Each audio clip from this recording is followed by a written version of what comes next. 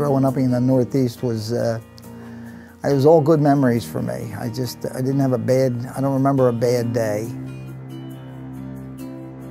Uh, a lot of fun,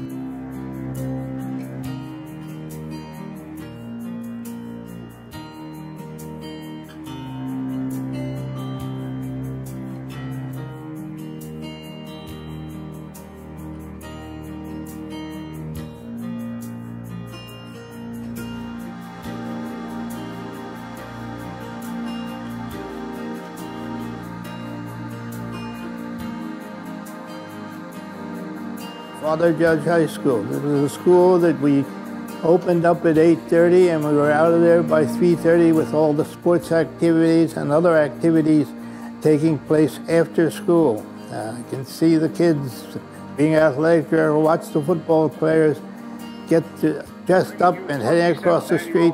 City Championship football game between Coach Odie Severick's Franklin High Public League champions Catholic League champions, Father Judge High, coached by Bill Brown. Here's referee Ike Woolley tossing the coin. Kelly runs out the clock. And the final score of the 27th Annual City Championship football game is Father Judge 19, Frankford 18. That's a happy Father Judge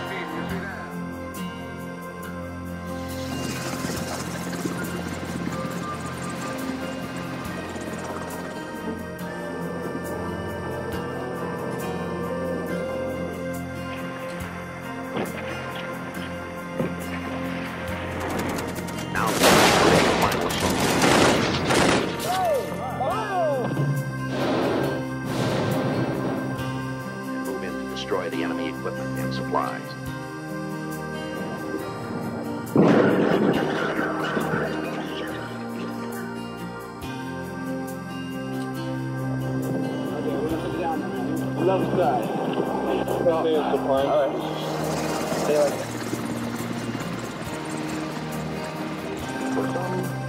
They would have wounded and they would have uh, KIAs killed in action uh, troops that had to come back.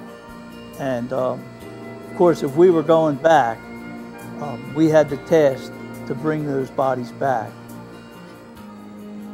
I remember the day that my brother died. I, I was working a night shift at American Airlines, and uh, my sister and my mother's friend came to tell me, and they brought me home. And I just remember how devastated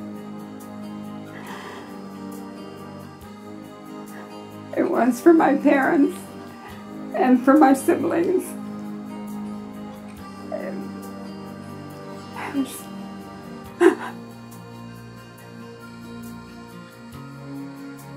You've asked why are these Gold Star Family Memorials important?